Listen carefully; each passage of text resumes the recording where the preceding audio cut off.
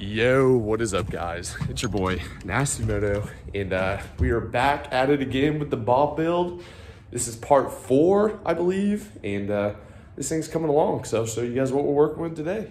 All right, so as you guys saw in the last video, we kind of mocked up the whole ski. We have the 300SX top with the um, Wave Blaster 2 bottom with the motor on there. And as you can see, this exhaust is just not gonna fit.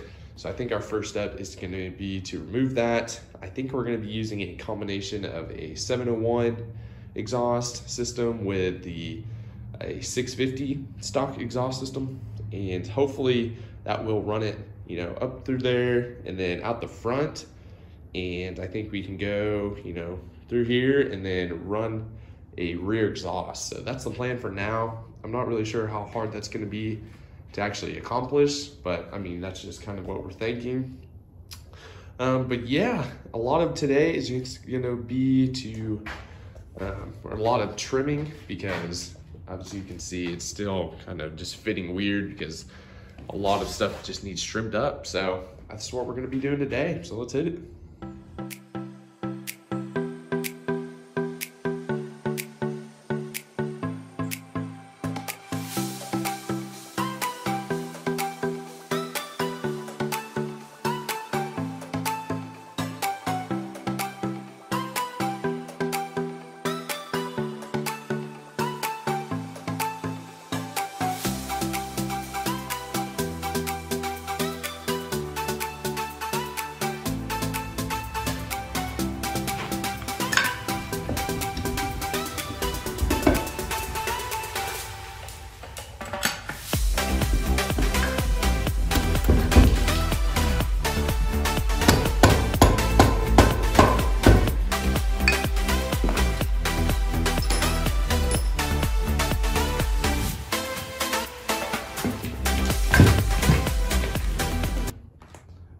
Right, so just got this exhaust pulled. Now we're gonna go ahead and stick it in the Wave Blaster 2 bottom and see how the hole fits now.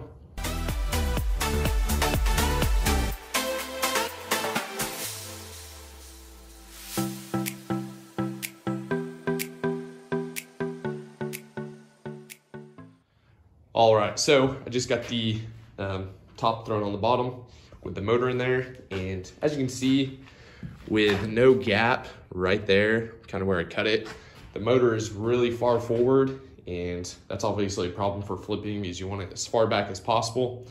But what uh, some things that I'm thinking to help that, um, gas tank kind of fits perfect right here uh, with the whole, you know, curvature of the tank and everything.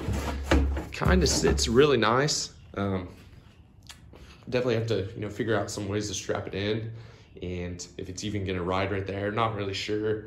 Um, just kind of a thought, but if we don't do that, I'll probably have like smaller, like two and a half gallon tank at the front just to keep, you know, the weight in the back.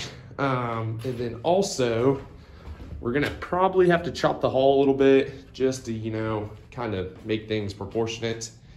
And, you know, those are just some of the things we're gonna have to do, but it is what it is. So yeah, right here, obviously I'm gonna need to trim, kind of curve those a little bit to help sit in the hull. And same with the back, not really sure what we're gonna do with that. But my whole goal right now is just to get this thing to actually fit under underneath the hull so we can kind of flip it over and see what we're working with. So we're gonna start cutting and see how it works out.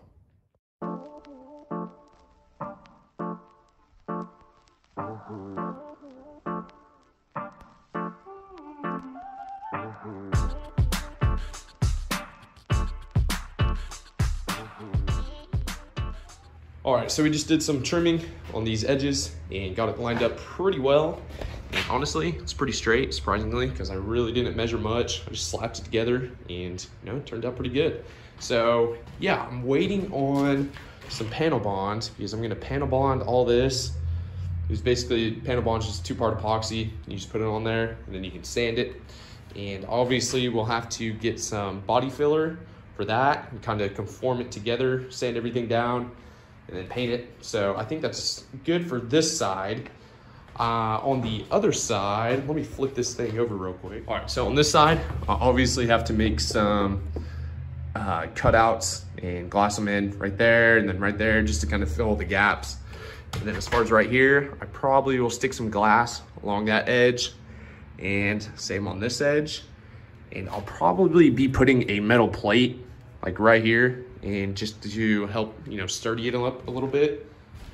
And then the same on this side or on the back side, I'll probably be putting some angle iron along these rails and just to help hold that bottom in a little bit better.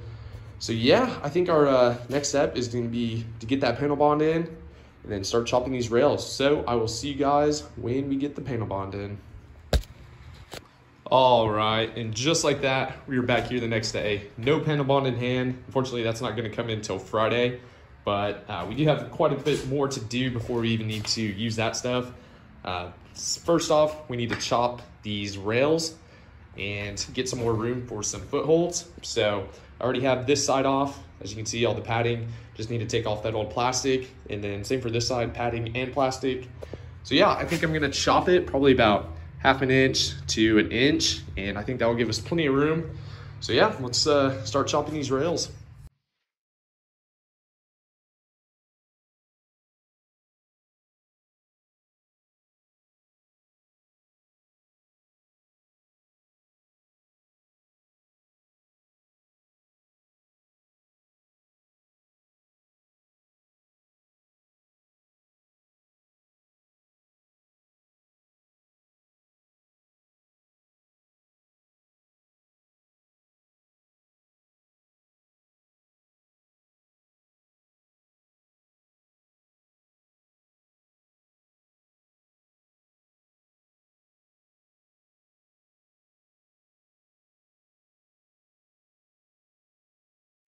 All right, guys. So as you saw here, we finished chopping up the rails, left about probably about half an inch on each side, and I think that will give us plenty of room for footholds.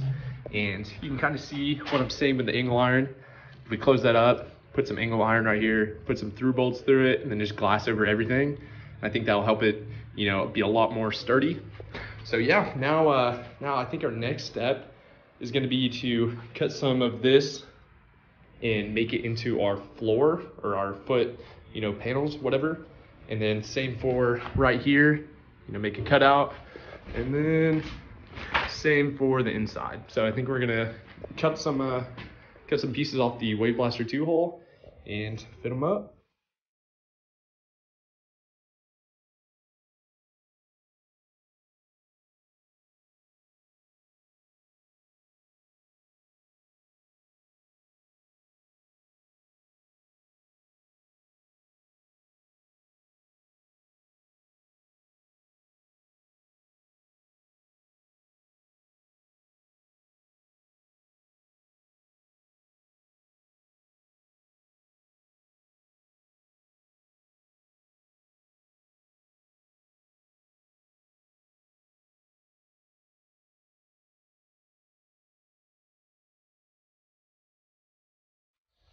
This is what we came up with for the foothold area. As you can see, I've literally just cut bottoms out of the uh, Wave Blaster 2, kind of just really roughed, mocked them up.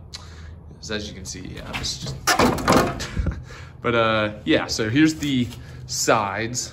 As you can see, those will just go like that. Get glass on there, same for the other side. Get glass like that.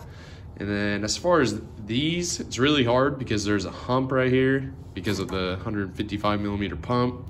So we're gonna have to, I think, trim around here and just kind of fit it against this hump the best that we can because we also have the trim cable, which, you know, you can't really do anything with that. So we're gonna have to just work around it. And I think we kind of came up with the best situation. Uh, have that board like that But yeah, we'll have to trim it the best we can because we really want our footholds as low in the hull as possible. So like somewhere right here. And I think we can even cut out some pieces of the Wave Blaster 2 to make those footholds, like these uh, these curves right here. So I think we can rig up something like that, hopefully save some money, and I think we'll be good to go as far as footholds. Um, but everything else like around here and stuff, I'm just gonna go ahead and do it on my free time because that's kind of a pain and it's really not that fun to watch. So I'll show you guys the final result in the next video. All right, guys, so that's gonna be the, uh, the end of part four of the Bob build. So if you guys like this video, definitely give it a thumbs up. It helps me out a lot. And uh, make sure to subscribe. So yeah, thank you guys so much for watching.